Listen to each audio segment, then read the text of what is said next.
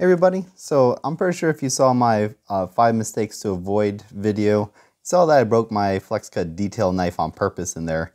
It snapped off the tip and now I think I'm going to go ahead and try and see if I can fix it. Um, I'm not going to use a, a grinder, like, like a grinding wheel, because one, I don't own one, and two, I don't want to overheat the metal. So I'm going to do it manually by hand just to see if I can do it. Uh, so this is a diamond edged uh, file that I use for my stone carving stuff.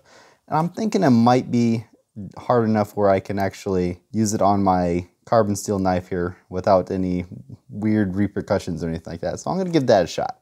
So first things first, I'm going to go ahead and tape up the, the edge on it so I don't accidentally cut myself. All right, since there's a, a goal in mind, I'm not going to make it like a super sharp point of what it was there before. I'm to do that. And so basically what I'm going to do is I'm going to remove everything from this line up that way. I'm to see if it works. Let's find out if this does anything. I can see it's doing something. It's probably to be slow going, but I'm to keep going here. Yeah, I'm, I'm getting there. It's taking a nice little chunk off there. Probably give me another couple minutes and I should be all set. Make sure this isn't getting too hot. No, it's not hot at all.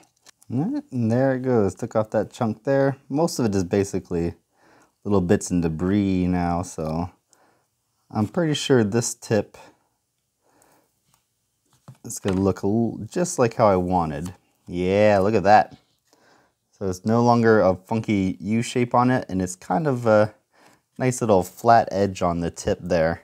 Uh, what I'm going to do here now is probably just smooth it out. Uh, because I know right now I got a nice little burr going on that side. So I'm going to reshape it here so that it's a little bit smoother.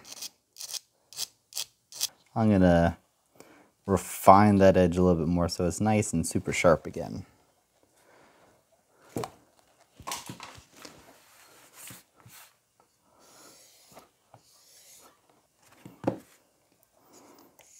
Finer grit, and leather strap. Yeah, I think that's that turned out pretty good. Uh, not too bad. It took me about 15 minutes from start to finish.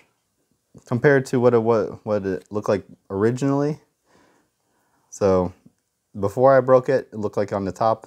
After I uh, fixed it up after the break, it's on the bottom there. So it's a little bit shorter um, but still a usable knife now. Now it's probably less likely that this blade will break on me. So there you go.